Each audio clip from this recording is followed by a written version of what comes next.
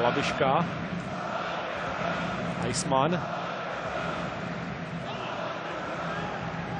Prováhaný centr a šance udeřit. A vypadá to, že Slávě naopak dokáže zužitkovat tenhle rychlý kontr, protože Mingazov jde sám na brankáře, dloubanec a je to 3 Nádherná akce, chyba v rozehrávce Janečky a e, potom už e, byla Slávě dokonalá. Středem hřiště velmi rychle, kolmo nahoru, e, Mingazov v zakončení si věděl skvěle rady, využil svou rychlost. Eisman prováhal centr a pak už to šlo ráz na ráz. Mingazov výtečně zvládnul zakončení a tribuna Sever, na kterou Mingazov vlastně